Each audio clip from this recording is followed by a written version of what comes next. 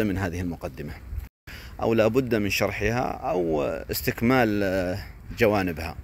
كنا تكلمنا عن الافتخار وما فيه من النهي وجوازه في الحرب وجوازه في الصدقة.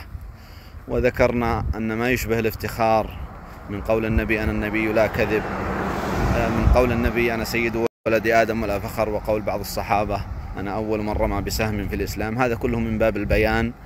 إما ليقتدي به الناس في الخير وإما يعني للتحدث بنعمة الله وأن الأنصار وكانوا يتنافسون في الخير. هذا من باب التنافس وليس من باب الافتخار بقي بعض التنبيهات المتعلقة بالنهي عن الافتخار وهي مهمة. أول هذه التنبيهات هذه النصوص الواردة في النهي عن الافتخار سواء افتخار بالنفس أو افتخار بالآباء.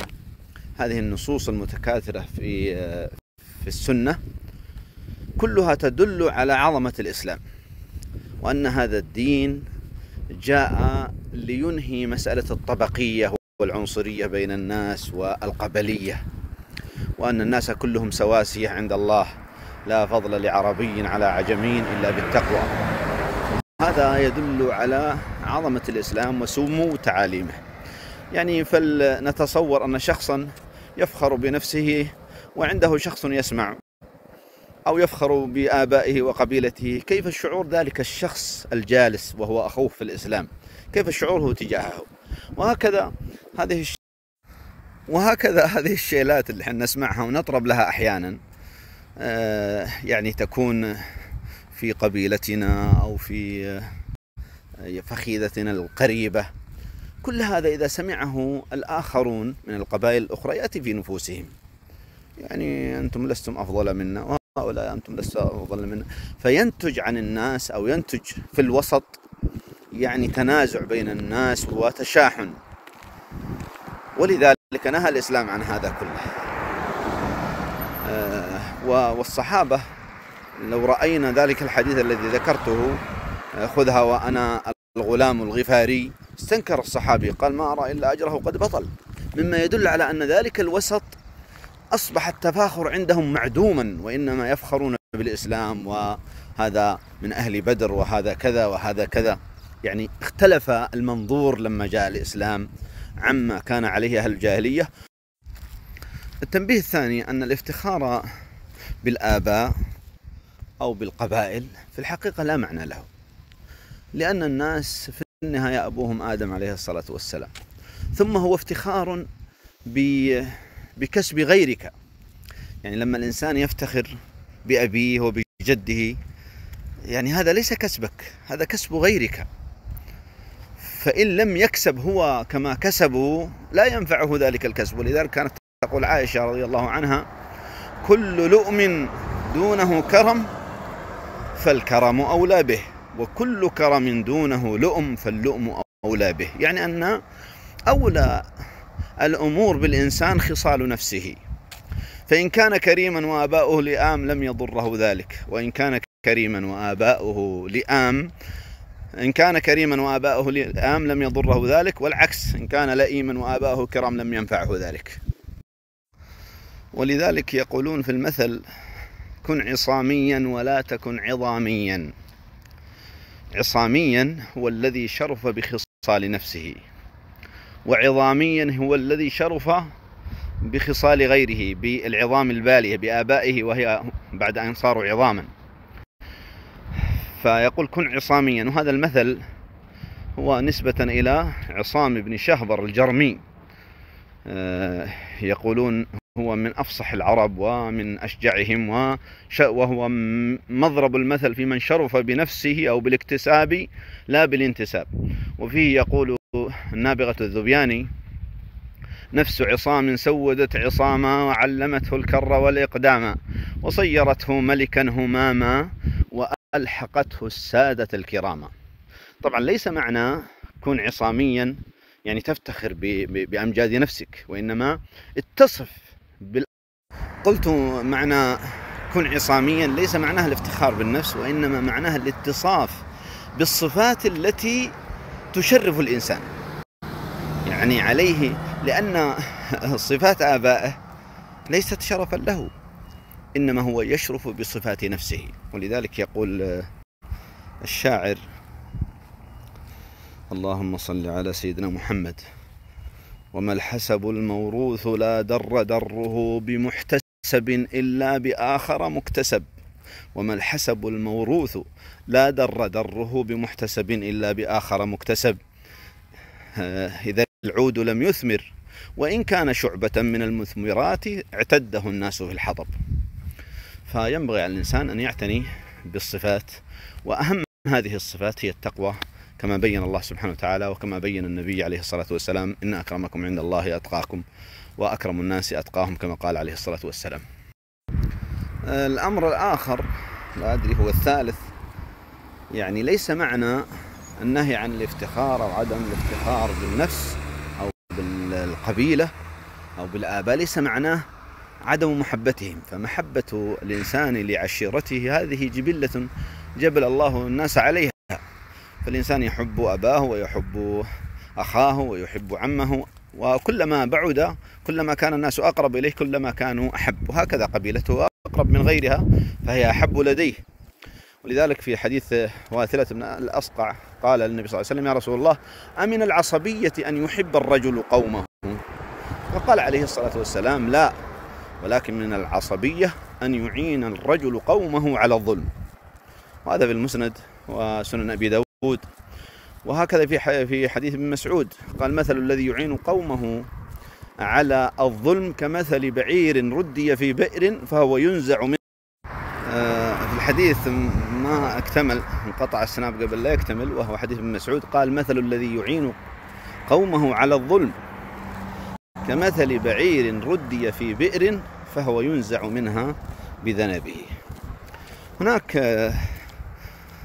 شيء تذكرته وهو في الافتخار حتى لو كان الإنسان يعني عصاميا لو كان فيه الصفات الجليلة لا ينبغي أن يفخر كما ذكرت. بل إن مدح الإنسان لنفسه أمر ممقوت ربما يضعه ذلك عند الناس. بل كلما يعني كتم فضائله كلما علم الناس بها وزاد في أعينهم. قصة الشيخ محمد الأمين الشنقيطي مشهورة جاء من من شنقيط من بلاد موريتانيا للحج. ثم نزل في منى في خيمة وكانت خيمته قرب أظن الأمير كانت خيمته قرب الأمير خالد السديري حسب ما أتذكر من القصة.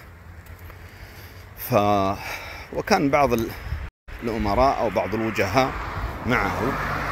فيبدو أنهم استضافوه عندهم رأوه واستضافوه عندهم وصاروا يتناقشون في الأدب في الشعر. والشيخ ساكت لا يعلمون حاله ويعني رث الهيئة كما هو معلوم من حال كثير من أهل البادية. فصاروا يتناقشون وهو ساكت فلما أراد الانصراف سألوه هل تعلم مما ذكرنا شيئا؟ أو هل تعلم هذا هذه القصيدة؟ فصار كلما سألوه عن شيء أجابهم. إن سألوه عن بيت قال هو لفلان الفلاني وهو من قصيدته الفلانية هو ذكرها لهم. حتى انبهروا. يعني كاد الرجل أن يخرج من الخيمة ولم ين يعني ينبس ببت شفة. لم يخبرهم بما يعني لم يخبرهم بما عنده من العلم. مع أنه من أعلم الناس إن لم يكن أعلمهم في هذا القرن المنصرم. حتى أنه ذكر عن الشيخ ابن عثيمين أنه لما سمع به طبعا هو بعد ما علموا به يعني توسطوا له وأدخلوه الظاهر على الملك خالد رحمة الله عليه وطلبوا منه البقاء في المملكة العربية السعودية فاشترط عليهم أن يكون في المدينة. فكان في المدينة ولا زال أولاده إلى اليوم في المدينة رحمة الله عليه وهو صاحب أضواء البيان هذا الكتاب المشهور.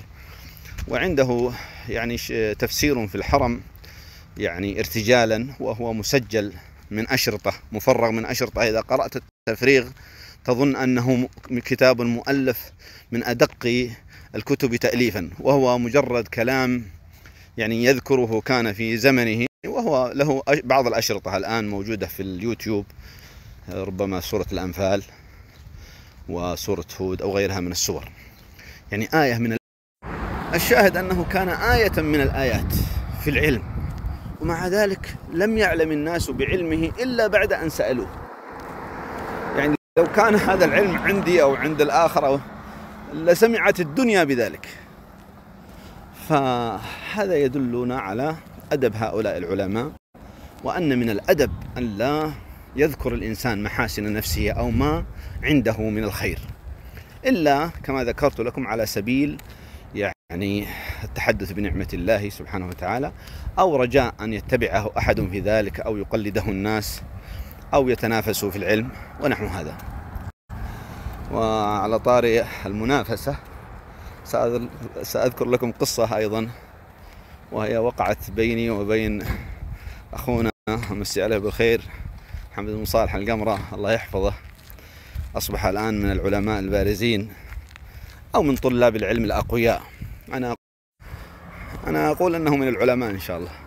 أخونا حمد كنا خارجين مع الدعوة.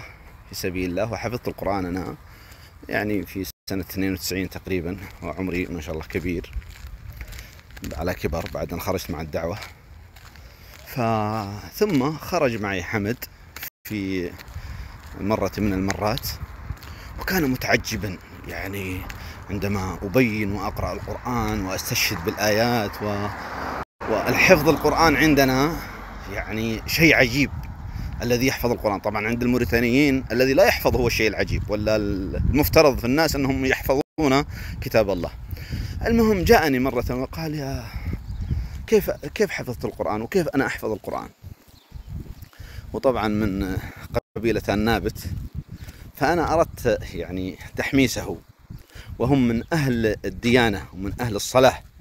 يعني هذه القبيلة يعني هذه القبيلة قبيلة دينة جدا يعني حتى الشباب العاديين منهم يعني الغير متدينين تجده لا يفرط في الصلاة ولا يفرط في النوافل وتجد فيه من الديانة خصوصا فيما يتعلق بالعبادة بالصلاة الشيء الكثير الذي ربما لا يكون عند كثير من طلاب العلم. المهم حمد لما سألني أردت تحميسه شوي و... فقلت له النابت لا يمكن أن يحفظ القرآن. يعني واحد نابتي يحفظ القرآن هذا يعني أظنه صعب عليهم. ف... فهو يبدو أنه زعل. فحفظ القرآن في سنتين. من ذلك الوقت. بل ودرس العلم. درس خليل. يعني فقه خليل مختصر خليل وهو في الفقه المالكي. هذا وهو في دورة عسكرية في دبي. حفظ القرآن و حفظ القرآن ودرس الفقه. فقه المالكي يعني أتقنه ثم درس الفقه الحنبلي. وتجاوز الكثير من أصحابه أو مشايخه وتجاوزني أنا وتجاوز غيري. لكنه من أيضا فيه سمات أهل العلم ممن لا يريدون الظهور أو لا يحبون الظهور. أنا في الحقيقة أسميه لشدة حماسه للعلم ويعني عدم ضياع وقت من وقته أسميه السيوطي لأن السيوطي رحمة الله عليه ربما له 600 مؤلف أو أكثر. وحمد الله يحفظه يعني أنا إذا ألفت كتابا تجده قد ألف خمسة كتب. يعني ما شاء الله يعني آه، سريع التعلم وسريع القراءة وسريع الكتابة. وهذه يبدو أني خرجت عن موضوع التفاخر. نرجع إليه. آه، من التنبيهات ليس معنى عدم التفاخر أو النهي عن التفاخر أو النهي عن الافتخار ليس معناه أنه ليس هناك فضائل بين القبائل وفضائل بين الناس لا. هناك فضل في أجناس الناس بين أجناس الناس. يعني فضل قريش على غير قريش فضل بني هاشم على غير بني هاشم وكذلك فضل العرب على العجم. الله أنزل القرآن عربي ومحمد عربي ومحمد قرشي صلى الله عليه وسلم. فهناك فضل من حيث العموم. طيب ما دام هناك فضل ما موقف المسلم من هذا؟ المسلم أحد أحد رجلين أو أحد شخصين. إما أن يكون من الطائفة الفاضلة يعني من قريش من بني هاشم أو من العرب وهو يتحدث عن فضائلهم. فهنا لا ينبغي عليه استشعار فضل نفسه. يعني من هذه الحيث فلا ينبغي عليه أن يستشعر فضل نفسه وهو يتحدث عن فضل قومه أو فضل قريش أو فضل العرب. بل يتحدث بذلك لأن الله يعني فضل هؤلاء على غيرهم من الناس وهذا من باب البيان. فإن استشعر فضل نفسه فقد مقت نفسه. فإنه ليس معنى فضل الجنس فضل الشخص.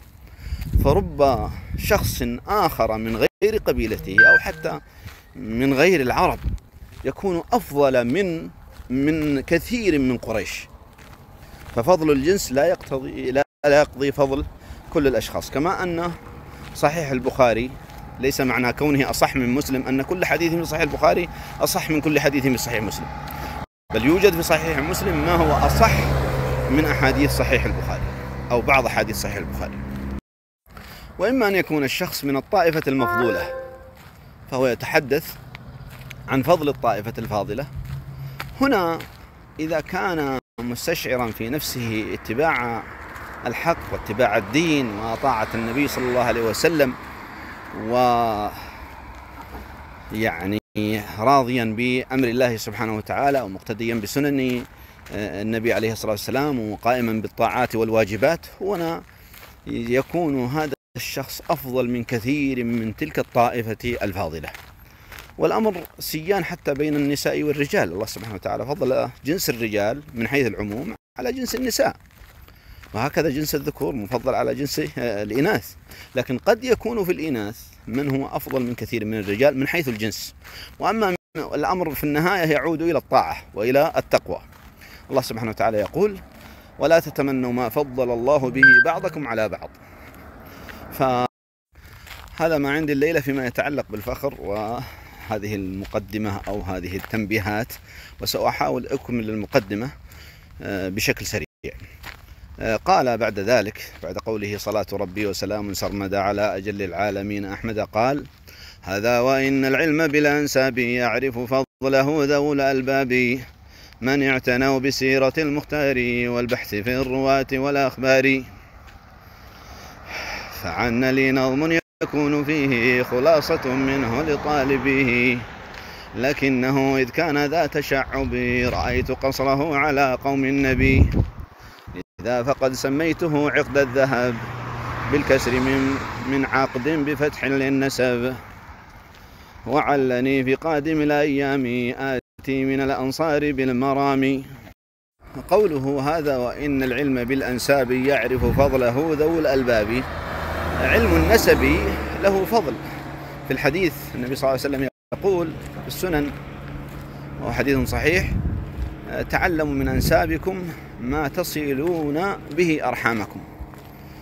وهنا يقول هذا وإن العلم بالأنساب يعرف فضله ذو الألباب من اعتنوا بسيرة المختار والبحث في الرواة والأخبار.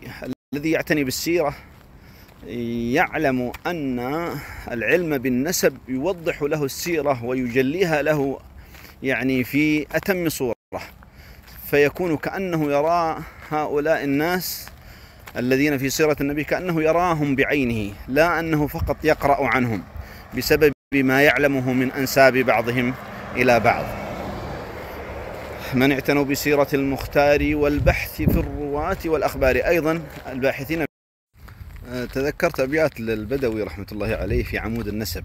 يقول في مقدمته وهو يتكلم عن فضل النسب يقول وليس للن... وليس للناظر في علم السير بدونه يعني بدون علم النسب. وليس للناظر في علم السير بدونه إلا قراءة الخبر. فإن جمعت النسب الخطيرة وسيرة تكن بهم خبيرا حتى كأنهم حتى كأنهم بعين النقص في الصك. النقصي يعني الكتاب في الصك الكتاب. حتى كأنهم بعين النقص في الصك قد لاحوا لعين الحسي يعني كأنك تراهم عيانا أمامك. فهذا العلم علم جليل. ولذلك قال آه اللهم صل سيدنا آه من اعتنوا بسيرة المختار والبحث. السلام عليكم. أذن الأذان لكني سأكمل إن شاء الله بشكل سريع. يقول هذا وإن الفخ هذا وإن العلم بالأنساب يعرف فضله ذو الألباب من اعتنوا بسيرة المختار والبحث في الرواة والأخبار. أيضا من اعتنى بالبحث في الرواة والأخبار يعلم قيمة هذا العلم. مثلا في صحيح البخاري عبيد الله بن عدي بن الخيار يسأل وحشية بن حرب عن قتله لحمزة.